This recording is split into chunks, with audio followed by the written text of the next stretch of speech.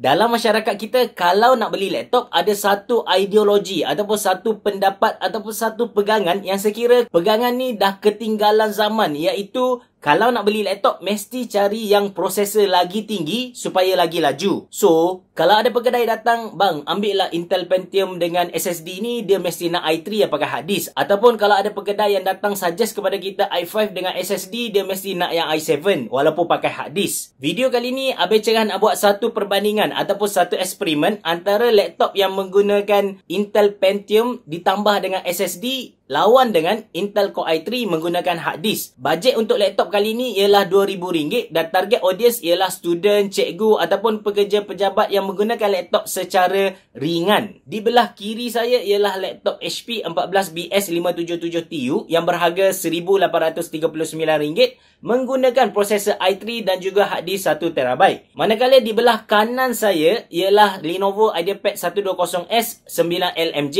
yang menggunakan prosesor Intel Pentium tapi SSD 128GB. Laptop ni berharga RM1,699. Basically, kedua-dua laptop mempunyai spesifikasi yang sama kecuali prosesor dan juga storage. Yang ni menggunakan hard disk, yang ni menggunakan SSD. Saya akan test kedua-dua performance untuk laptop ni supaya anda nampak yang mana lagi berbaloi beli kalau anda sekadar menggunakan Microsoft Word, Adobe Photoshop ataupun surfing internet ataupun main game yang ringan-ringan. Okey, sekarang anda bersama Abel Cerah dalam Amas. Jom kita selongkar misteri ini.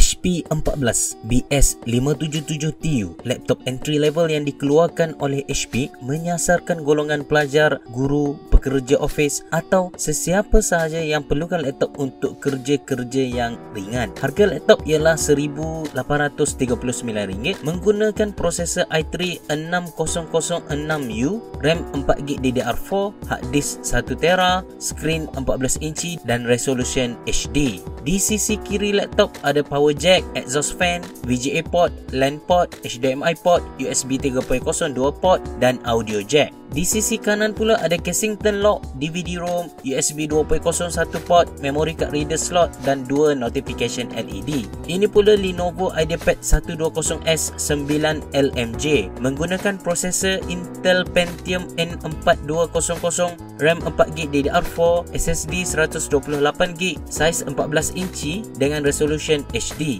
Harga pasaran untuk laptop ini ialah RM1,699. Target audience laptop ini sama dengan HP BS577TU iaitu pelajar, guru, pekerja office atau sesiapa sahaja yang ingin gunakan laptop untuk kerja-kerja yang ringan. Sisi kiri laptop ini ada power jack, USB 3.0, HDMI port, USB Type-C dan satu notification LED. Manakala di sisi kanan pula ada USB 3.0, audio jack, micro SD card reader slot dan one key recovery button. Sekarang tiba masa untuk kita bandingkan performance kedua-dua laptop. Perbandingan pertama ialah dari segi boot up Windows ataupun tempoh masa yang diperlukan oleh kedua-dua laptop dari daripada keadaan yang mati ataupun shutdown hingga ke desktop. Untuk Lenovo Pentium, ianya mengambil masa sekitar 13 saat sahaja manakala untuk HP i3, ianya mengambil masa selama 1 minit 20 saat. Di sini, kita boleh nampak Lenovo Pentium 6 kali ganda lebih laju daripada HP i3. Perbandingan seterusnya ialah berapa lama masa loading untuk sesuatu program. Kita akan test dengan buka Microsoft Word, Microsoft Excel dan juga Adobe Reader. Di belah kiri ialah Lenovo Pentium dan di belah kanan kanan ialah HP i3. Saya rakam guna OBS dan kita boleh nampak yang Lenovo Pentium lagi laju daripada HP i3 untuk buka software dan ready untuk digunakan. Perbandingan terakhir ialah berapa lama masa yang diambil oleh kedua-dua laptop untuk convert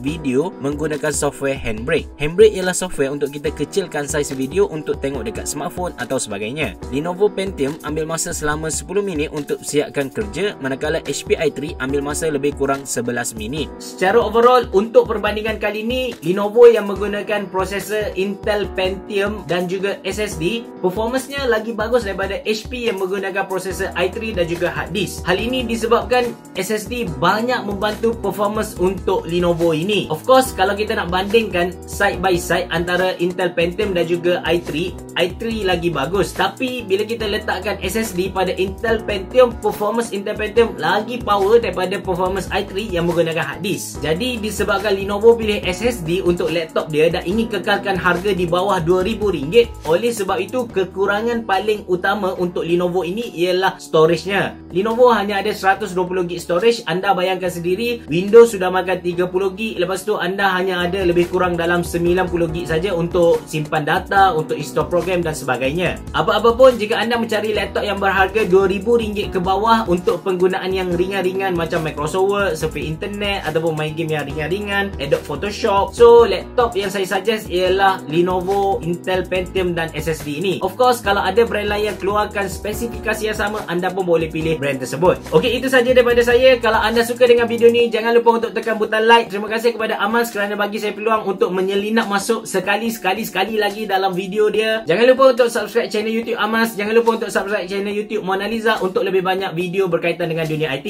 Bereboh, jumpa lagi.